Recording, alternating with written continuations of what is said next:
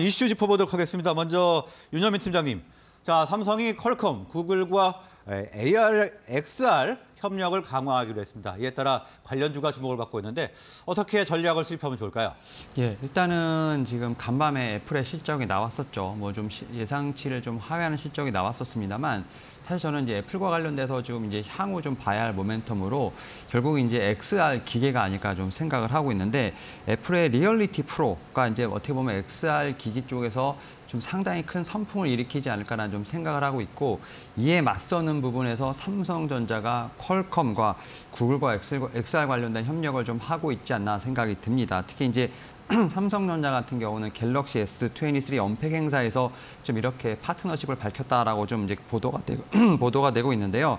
사실 이제 이 AR, VR 관련된 부분들 좀 테마성으로 움직이다가 결국 이제 XR까지 넘어오면서 확실한 하나의 좀 트렌드로 잡혔다라고 볼 수 있을 것 같고 여기에 이제 애플이 이제 애플 리얼리티 프로를 좀 선보일 것으로 보이면서 그 XR 시장과 관련된 부분들이 상당히 주목되고 있다고 볼 수 있을 것 같습니다. 뭐 CES 2023에서부터 결국 이러한 기미가 좀 보였다 볼 수 있을 것 같고 특히 삼성전자 같은 경우는 XR 전용 반도체라든지 초고화질 디스플레이 여기에다가 이제 뭐 OS 경쟁력이 좀 부족한 부분이 있기 때문에 이런 부분을 좀 파트너십으로서 좀 해결할 수 있는 어떤 그러한 대안을 마련했다 볼 수 있을 것 같고 결국 이제 XR 관련돼서 지금 애플의 리얼리티 프로가 지금 이제 어, 한 6월 하반기 정도부터 지금 이제 출시가 될 것으로 보이고 있기 때문에 그러한 측면에서 삼성전자 같은 경우도 좀 미리 선점하는 좀 그러한 효과를 누리기 위해서 좀 빠르게 전략적으로 움직이지, 움직이고 있지 않나 좀 생각을 하고 있고 여기에 또 중국 같은 경우도 XR 기기 관련돼서 좀 투자를 많이 하고 있는 부분이 있기 때문에 상당히 치열한 어떤 시장이 전개되지 않을까 생각을 하고 있습니다. 뭐 관련된 종목들 뭐 큰 종목들이야 뭐 삼성전기 그다음에 이제 뭐 LG 이노텍 같은 종목이 있겠습니다만 제가 뭐 방송에 나와서 좀 계속 말씀드렸던 뭐 나무가라든지 뭐 뉴프렉스, 뭐 하이비전 시스템 같은 종목들 같은 경우도 좀 관련주로 엮여 있는 부분이 있기 때문에 좀 실적이 탄탄하면서 이런 트렌드를 좀 따라갈 수 있는 종목들, 뭐 나무가라든지 하이비전 시스템 같은 경우 몇 번 설명을 드렸기 때문에 이런 종목에 관심이 좀 충분히 필요하지 않을까라는 좀 생각을 하고 있습니다. 네, XR과 관련된 종목들 방금 전에 말씀을 해주셨는데 투자에 참고를 하시기 바라겠습니다. 자, 다음은 이청원 FA님. 자, 증권주도 반등을 하고 있습니다. 이제 투자 심리가 어느 정도 회복되는 것이 아니냐 뭐 이런 말들이 나오고 있는데 어, 어떻게 접근하면 좋을까요? 네, 증권주 그리고 시장 바닥 짚고 이미 올라가고 있는 것 같습니다. 저는 개인적으로 코스피가 3,300포인트 넘어갈 거라고 확신하는 사람인데 지난해 연말부터 계속해서 그런 이야기를 참 많이 들었을 겁니다. 경기 침체, 경기 침체. GDP 성장률이 얼마 나오지 않고 있고 계속해서 2% 수준밖에 보이지 않는다면 장기적으로 경기는 침체할 것이다 등등의 많은 이야기가 어, 많은 사람들에 의해서 회자되고 있었습니다. 그러, 그러다가 올 얼마 전이었죠. 미국이 GDP 성장률을 발표했습니다. 4분기 기준으로 2.9%였고요. 연간 기준으로 2.1%. 그때 시장이 환호하고 큰 폭으로 올라가요. 그러다 보니 GDP 성장률에 대한 부분은 이제 일정 부분 우리가 걱정할 필요가 없다라고 생각을 합니다. 그와 함께 2020년, 아 2021년부터 2019년까지 미국의 GDP 성장률은 2%를 기준으로 플러스 마이너스를 보였을 뿐 단 한 번도 3%를 넘긴 적이 없고 단 한 번도 1% 이하로 떨어진 적이 없습니다. 다르게 표현하면 미국 GDP 성장률이 2%를 보인다라고 하는 것은 경제가 완만하게 성장하고 있다는 것을 의미해요. 무엇보다 2011년부터 2019년까지 GDP가 2%밖에 성장을 하지 못했을 때 미국 나스닥 지수는 무려 3.5배가 오릅니다. 다우 같은 경우에도 2.5배, S&P 500도 2.7배 정도 올라요.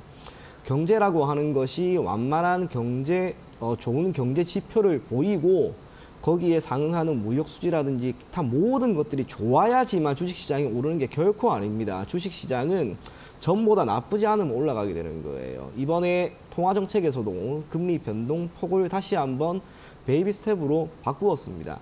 금리 인상을 할 때 처음에 그, 그 베이비 스텝을 한 이후로 단 한 번도 베이비 스텝으로 결정 지은 적이 없었는데 지금 그렇게 됐다는 것은 앞으로 금리 변동폭은 기껏해야 베이비 스텝 아니면 동결이라는 거예요. 지난 한 해 시장에서의 가장 큰 리스크는 결국에는 금리였죠. 금리 인상폭에 대한 부분이었는데 이제 이게 사라졌습니다. 시장에 산재되어 있는 리스크가 사라졌는데 시장에 오르지 못할 이유는 결코 없을 것으로 생각을 하고 그러한 가운데 필연적으로 시장이 오르면 오를 수밖에 없는 증권 섹터 여러분들이 계속해서 눈여겨보면 좋지 않을까 그리 생각이 됩니다.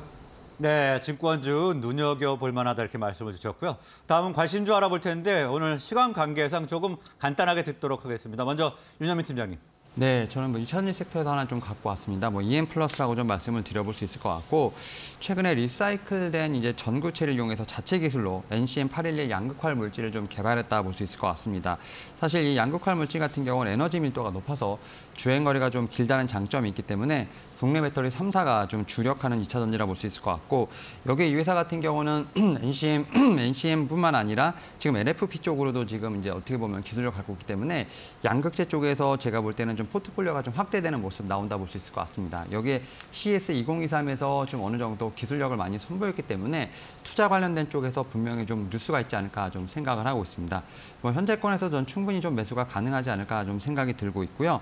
뭐 목표가는 좀 7,000원 그리고 손절가 같은 경우 4,200원으로 좀 말씀을 드려보도록 하겠습니다. 네, EN 플러스 관심 종목으로 알아봤고요. 어, 다음은 이청원 대표님.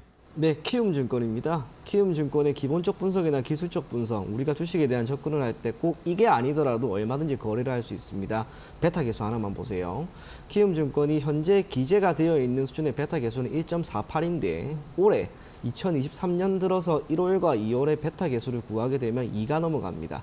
시장보다 두 배가 더 오르고 있다는 거예요. 물론 시간이 지나면 지날수록 베타 계수는 1.5나 2 사이 어딘가에 위치를 하겠지만 시장이 지금처럼 계속해서 간다면 키움증권은 시장보다 월등히 더 높은 수익률을 보일 수 있다는 거예요. 시장 분위기가 조금씩 조금씩 안정이 되어 있고 시장에 참여하는 참여자도 더 늘어나게 될 겁니다. 브로커리지 수익에 따른 결과 충분히 나올 수 있을 것으로 보이는 만큼 키움증권 여러분들이 크게 걱정하지 말고 계속해서 긍정적으로 볼 것을 권해드리겠습니다.